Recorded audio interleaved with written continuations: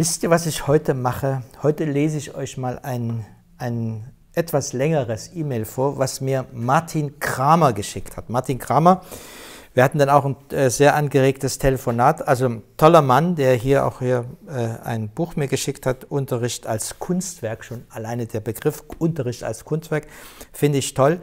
Er beschreibt auch, äh, wie man heute eigentlich mit Bildung umgehen also sollte und, und beschäftigt sich sehr wirklich mit, dem, mit der Wissensvermittlung und sagt, er kritisiert auch das System, was wir heute haben. Da bin ich ganz bei ihm, dass wir eigentlich in Zukunft an dieser, an dieser Front wirklich noch arbeiten müssen. Die Schule, so wie sie heute existiert, glaube ich schon, dass wir in den nächsten Jahren und Jahrzehnten uns da nochmal überlegen müssten, wie wir damit umgehen, weil durch die neuen Medien und so verändert sich ja vieles. Auch das, das, die Wissensvermittlung ändert sich.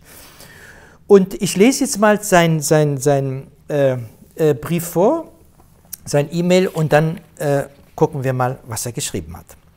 Herzlichen Dank für deine Reihe Sehen und Gestalten. Ich mag die Art und Weise der Darstellung, die Langsamkeit, die Konzentriertheit und die Art und Weise der kritischen Sicht.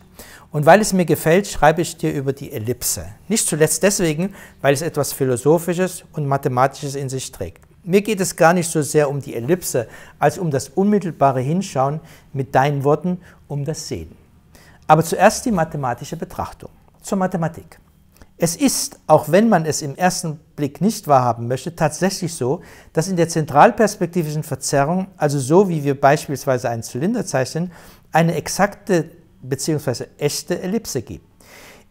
Ich habe die Kreislinie rechts oben, und jetzt muss ich euch das Bild noch dazu geben, also er hat mir auch ein Bild dazu gezeichnet.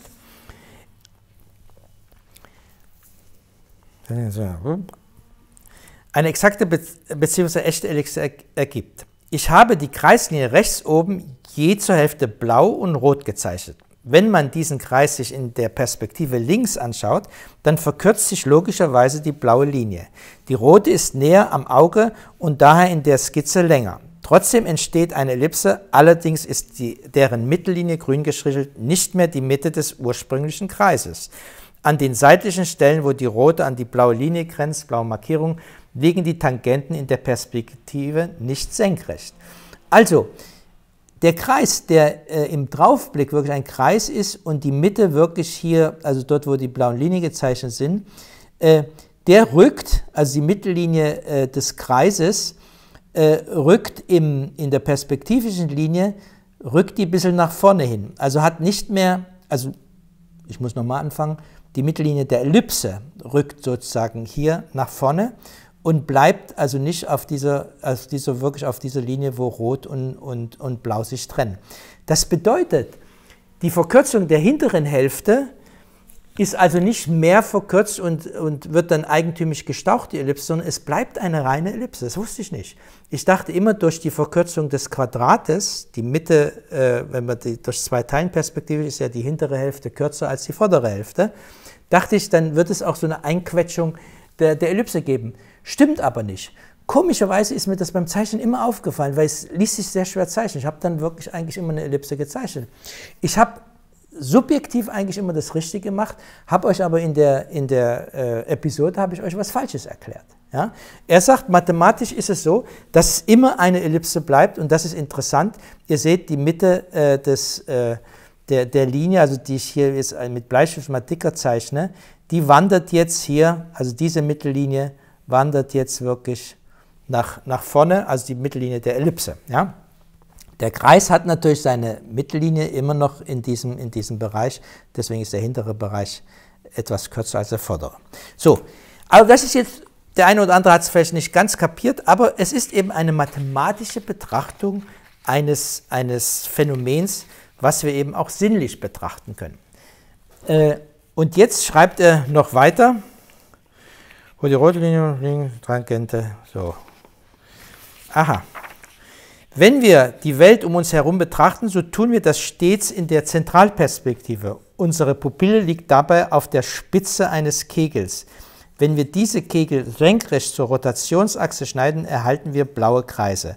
Das Erstaunliche ist nun, dass wir, wenn wir den Kegel schräg durchschneiden, erhalten wir nach der Theorie der Kegelschnitte eine exakte Ellipse. Wenn wir parallel zur Rotationsachse schneiden, erhalten wir Hyperbeln.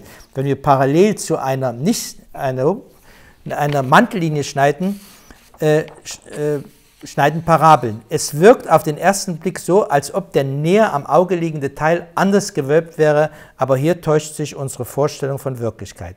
Man kann die Sache andersherum betrachten, egal aus welcher Perspektive ich einen Kreis betrachte, ich kann diesen stets als Ellipse in einen Kegel einfügen, sodass die Pupille die Spitze des Kegels ist. Wir haben es also ausschließlich mit Ellipsen zu tun, wenn wir Kreise zeichnen. Die Verwirrung kommt daher, weil mit der Änderung der Perspektive neue Hauptachsen entstehen, aber es ist zumindest hilfreich zu wissen, dass eine Ellipse entsteht. Kurz, die Verzerrung findet nur für Punkte auf der Linie statt.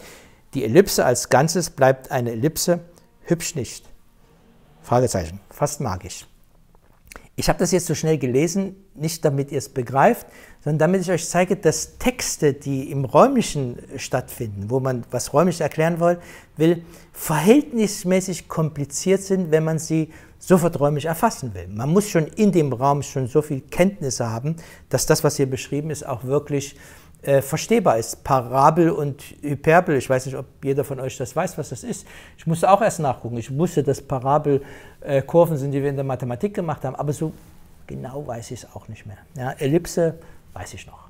So, was ich euch aber nur sagen will, ist, Beschreibungen von räumlichen Dingen sind letztlich in der Zeichnung viel, viel besser erklärbar. Und das haben wir hier. Er hat also hier auch eine Zeichnung ja dazugegeben, auch zu diesem Kegel, äh, Seekegel, den er meint. Und da merken wir, dass äh, das Zeichnen in diesem Augenblick auf einmal sehr, sehr hilfreich ist. Wenn er diese Zeichnung nicht daneben gelegt hätte, hätte ich es vielleicht nicht verstanden. Also das Zeichnen ist so wichtig wie Lesen und Schreiben. Zur Philosophie. Mir erscheint in der zunehmenden digitalisierten Welt das Zeichnen von hoher Bedeutung. Es übt die Konzentration, ist genau das Gegenteil der ständigen Reizüberflutung des neuen Kicks. Es lehrt, um die Worte von Hartmut Rosa zu gebrauchen, das Anverwandeln der Welt. Der Bleistift tastet gewissermaßen die Welt ab und während ich das tue, begreife ich Welt. Viel mehr als eine strukturlose Bildschirmoberfläche. Wir können sowohl vom Sehen als auch vom Denken getäuscht werden. Meistens glauben wir jedoch mehr unseren geistigen Konstruktionen. Die Verzerrung des Kreises bzw. der Ellipse ist ein hübsches Beispiel dafür. Das Glauben zu verstehen, aber doch nicht verstehen. Wie konstruieren wir Wirklichkeit? All das spricht für das Unmittelbare, das Hinschauen, das Echte und Reale, das Begreifen, um zu begreifen. Kannst du meinen Gedanken nachvollziehen? Und auch in dem Sinne, wie wichtig in diesem Zusammenhang das Zeichnen deiner Videoreihe ist. Herzliche Grüße aus Tübingen, Martin.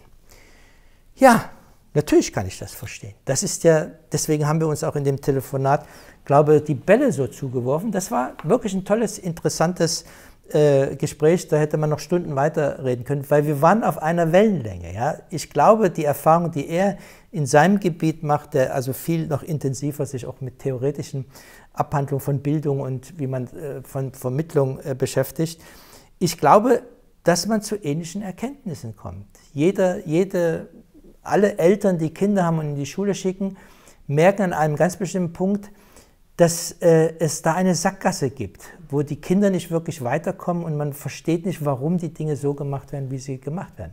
Das ist kein statisches System. Wir müssen an diesem System weiterarbeiten und die Frage stellen, warum lernen wir eigentlich?